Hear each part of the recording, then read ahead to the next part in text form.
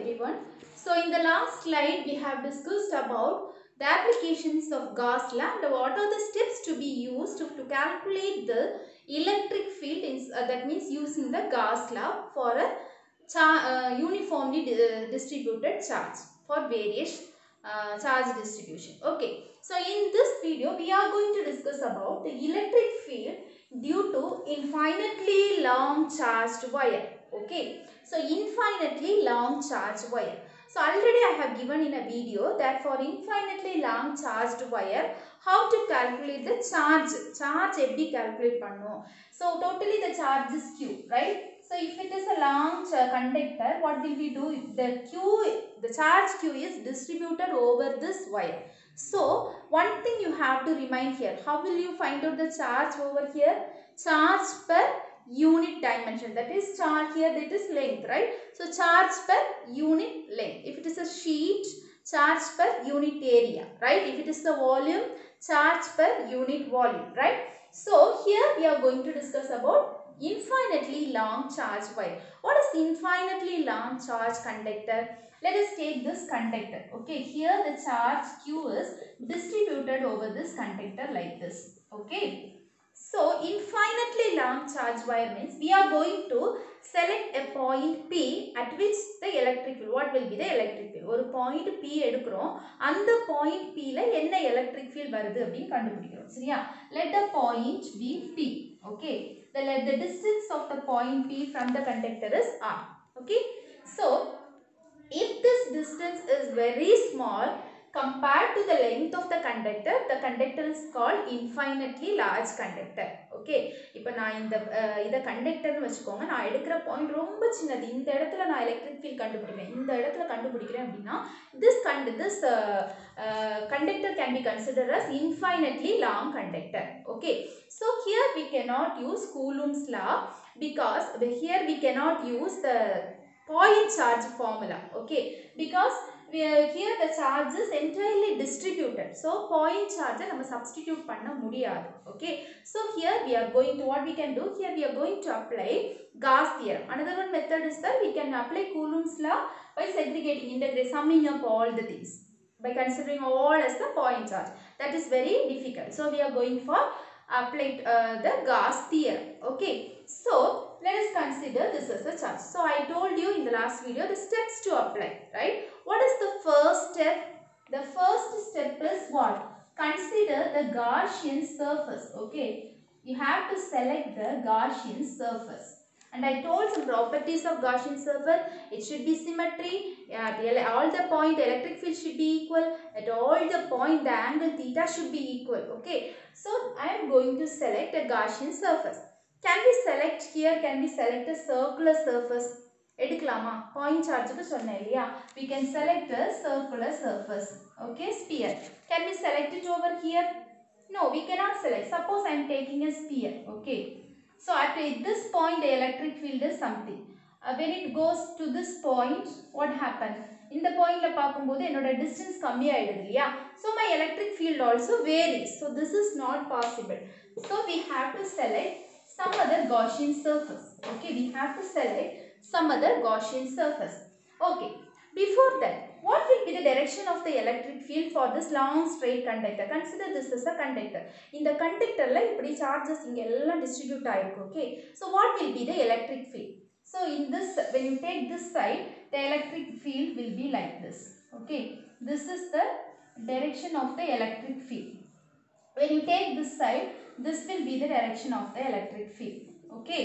So இப்படி வச்சுக்கோங்க. இந்த பக்கம் வச்சுட்டிங்கன்னா இதுதான் உங்களோட எலக்ட்ரிக் ஃபீல்ட் இப்படி வச்சுட்டிங்கன்னா இதுதான் உங்களோட எலக்ட்ரிக் ஃபீல்ட் இந்த பக்கத்துலேருந்து பார்க்கும்போது this is your electric field இப்படி பார்க்கும்போது this is your electric field just imagine the electric field will be like you have you seen the bottle brush bottle கழுவுறதுக்காக ஒரு ப்ரஷ் யூஸ் பண்ணுவீங்க இல்லையா?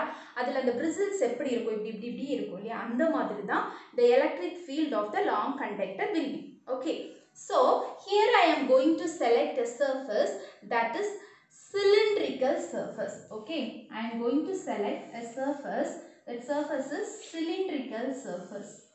Okay, I am going to select a surface that is cylindrical surface. In the cylindrical surface also two surfaces are there can you see this one's எப்படி இருக்கும்? Just imagine நான் இந்த இப்படி ஞாபகம் வச்சுக்கோங்க. இந்த ரீஃபில் இருக்கு இல்லையா? பென் ரீஃபில் உள்ளே இருக்கு இல்லையா?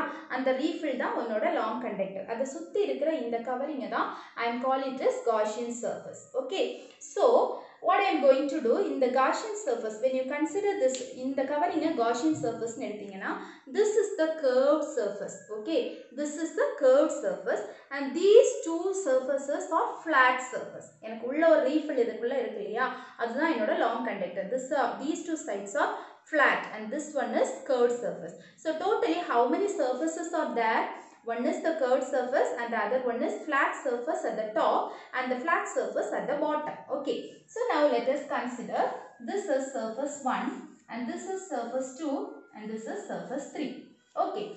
So what is our next part? What is the next part we have to select? We have to find out the electric field. Okay. Elect e uh, that is curved surface area e dot da we have to find out.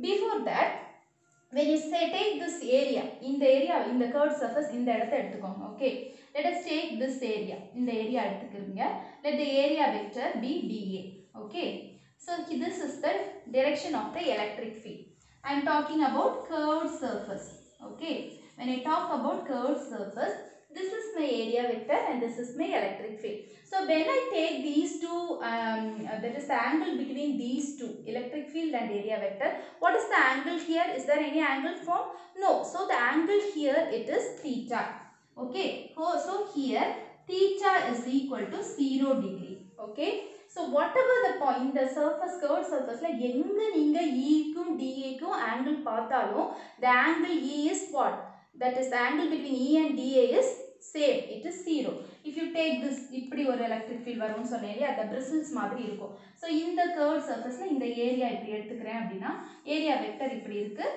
E இப்படி இருக்கு. ரெண்டுமே same direction so what happens here also the angle will be theta so theta equal to zero at any point okay எதுக்காக இதை சொல்கிறேன் இந்த surface நான் எடுத்தது சிமெட்ரியான்னு check பண்ணுறேன் எங்கே பார்த்தாலும் எனக்கு தீட்டா எப்படி தான் இருக்குது it is zero similarly if I find out electric field at any point எந்த இடத்துல? ஏன்னா எனக்கு இந்த இது இருக்கு இல்லையா? இந்த லாங் கண்டக்டர் இருக்கு இல்லையா? இதுலேருந்து இந்த distance suppose if I take R கண்டிப்பாக இந்த டிஸ்டன்ஸும் எப்படி தான் இருக்கும்.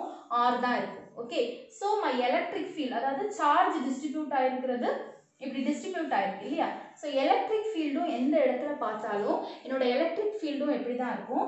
Electric field is also same okay electric field is also same at any point for the curved surface. Okay. The next one, the flat surface. The flat surface, okay, two flat surfaces are there, top and bottom surface. Okay. Here the electric field will be here in this direction right? The electric field is in this direction. If i take an area here இப்படி இருக்கு இல்லையா? இதில் என்னோட area vector ஒரு சின்ன area நான் select பண்ணிக்கிறேன் அப்படின்னா என்னோட ஏரியா வெக்டர் இப்படி இருக்கும் இல்லையா? என்னோட எலக்ட்ரிக் ஃபீல்டு இப்படி இருக்கும். ஸோ புரியுதா? என்னோட எலக்ட்ரிக் ஃபீல்டு இப்படி இருக்குது. இதுதான் என்னோட ஏரியா இதில் ஒரு சின்ன ஏரியா நான் எடுக்கிறேன் அப்படின்னா என்னோட ஏரியா வெக்டர் இப்படி இருக்கு. So the area vector is this one d A and this is my electric field. Here also this is my electric field. and this is my area vector if I take this area okay so the angle between the electric field and the area vector here it is 90 degree not 0 here it is 90 degree okay so here theta is equal to 90 degree at any point எந்த பாயிண்ட்ல நீங்க பார்த்தாலும் அந்த angle thetaங்கிறது 90 degree வரும் so it is symmetric both the surfaces are symmetric now what is our form uh, aim we are going to calculate the second step we are going first Gaussian surface select பண்ணிட்டோம் the second step it is calculate surface that is closed integral of E dot dA okay E dot dA so for this we are go going to sell, uh, divide the overall the cylinder as three surface right so I have splitting it into three surfaces this can be written as integral E dA cos theta okay substitute it here first one E dA cos theta for the curved surface okay? Plus E dA cos theta for the top flat surface okay? Then E dA cos theta for the bottom flat surface okay? I have selected the three surface. Now we know the angle. For the curved surface, what is my angle? It is 0. Okay. So I can write it as EDA cos 0 plus here EDA cos 90 plus EDA cos 90. Okay. This is for curve. This is for top flat. This is for bottom flat. So what is cos 0? It is 1. What is cos 90? 0. What is cos 90? 0. So these two terms become 0. My only term is integral EDA cos, cos 0 it is 1. So this is my value that is integral EDA cos theta overall EDA E dot dA is equal to EDA and I know that at each point the C will be constant. அப்படி தானே சொன்னோம். எந்த பாயிண்டில் நான் electric field calculate பண்ணாலும் எனக்கு எப்படி கிடைக்கும்? இந்த தேர்ட் சர்ஃபேஸில் எந்த பாயிண்டில் நான் கால்குலேட் பண்ணாலும் electric field will be constant அப்போ நான் இந்த எடுத்து கான்ஸ்டன்ட் ஈயை e வந்து வெளியில் எடுத்துக்கலாம். I am taking this is constant so E equal to this is equal to E into integral d A okay so what is this d A dA area. What is the integral dA means what? Area. Integral dA means A, that is area. So what is this area of the cylinder? We are considering the cylinder, right? What is this area? Here it is R, right? The overall, it is, the cylinder, circle madri. So it is 2 pi R. What is the length here? We can take this length as L, okay? So we can take our curved surface area of the uh, cylinder, what is it? 2 pi R H in particular, Here we are taking the um, length as L. So we are taking it as 2 pi r L. So the curved surface area of the cylinder that is equal to integral dA is equal to 2 pi r into L. Okay? So this is what we have calculated for. Integral E dot dA is equal to E into 2 pi r L. Okay? So we have completed the second step. So integral E dot dA is equal to E 2 pi RL and the third step is we are going to calculate the charge within the surface. Okay, we are going to calculate the charge within the surface. Okay, as I told we have taken a conductor, right? So conductor total charge it is Q it is distributed over this conductor நான் சொன்னேன் இல்லையா வீட்டுக்கு முன்னாடி போகிற line கம்பியில் உள்ள எவ்வளோ charge இருக்குன்னு நம்மளால சொல்ல முடியுமா? Infinite லென்த்துக்கு we cannot say but we can say one thing charge per unit length ஒரு யூனிட் லென்த்தில் எவ்வளோ சார்ஜ் இருக்குன்னு நம்மளால் சொல்ல முடியும். சரியா so we are going to select that concept here charge within that surface okay அந்த surfaceக்கு உள்ள இருக்கிற சார்ஜை கண்டுபிடிக்கணும் that is equal to we are selecting that is charge density okay charge density here we are taking it as lambda for length okay for long wire we are taking it as lambda so lambda is equal to charge per unit length okay? Lambda is nothing but charge per unit length. So what is q our aim is to find out? Charge within the surface. That is equal to lambda a. Okay? That's all. This is the charge within the surface. Then what is our fourth step? In the fourth step, we have to substitute all these values in the Gauss theorem. That is the fourth step. What is Gauss theorem? Integral E dot dA equal to Q by epsilon naught. Okay, substitute the values. What is E dot dA? It is nothing but E into 2 pi RL. Okay, what is Q? Lambda L divided by epsilon naught. What is our final aim? Your final aim is to find out the electric field at this point P. What is the electric field? Okay. So, electric field is the value we have to find it out. So, lambda L divided by 2 pi R L into epsilon naught. Okay. L and L get cancelled. Finally, we got the electric field value as lambda into 2 pi R epsilon naught. Okay. So, this is the electric field of a long charged wire when it is kept at a point P. Okay. So, it depends on two factors. It is depending upon the radius. If you know the radius and the charge density, we can easily find out the electric field. புரியுதா charge டென்சிட்டியும் ரேடியஸும் தெரிஞ்சிச்சு அப்படின்னா we can easily find out the electric field. Hope you understand this video how to find out the electric field due to the infinitely long charged wire. Similar steps we are going to for, uh, use it for further three more applications of Gauss law.